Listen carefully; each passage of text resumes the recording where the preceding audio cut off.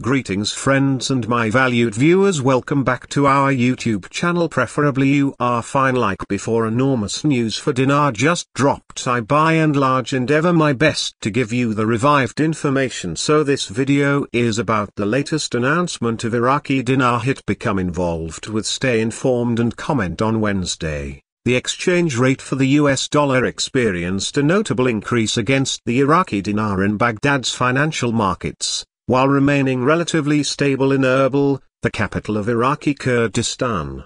This divergence highlights the localized variations in currency exchange rates within different regions of Iraq, reflecting broader economic dynamics and market conditions. In Baghdad, the US dollar was quoted at 149,100 Iraqi dinars per $100 on the Al-Kifah and Al-Harithiya stock exchanges. This marks a slight increase from the previous day's rate of 149,000 dinars. The rise in the exchange rate suggests a growing demand for the US dollar or a decline in the dinar's value, factors often influenced by economic and geopolitical developments. This fluctuation could be a reflection of investor sentiment, market speculation, or other regional economic factors affecting currency stability. Locally in Baghdad, the situation at exchange shops revealed a more pronounced difference. The dollar was being sold for 150,000 dinars and bought for 148,000 dinars per $100. This disparity between buying and selling prices indicates a broader spread, potentially reflecting a cautious approach by local traders in light of recent market volatility or uncertainty surrounding the dinar's future performance.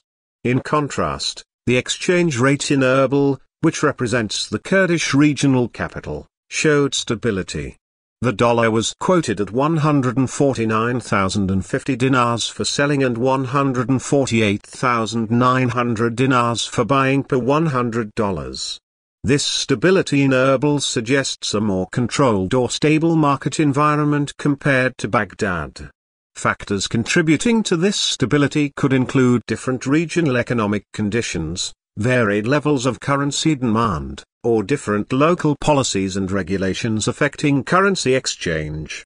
The contrasting trends between Baghdad and Erbil highlight the regional variations within Iraq's currency exchange landscape.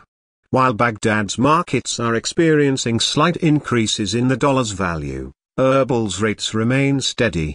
This divergence can be attributed to a variety of factors, including regional economic conditions, local demand for foreign currency, and the impact of recent economic policies or geopolitical events. The rise in the US dollar's value in Baghdad alongside its stability in Erbil provides insight into the complexities of Iraq's currency markets. Traders, investors, and analysts will be closely monitoring these developments as they assess the potential implications for economic stability and investment opportunities in the region.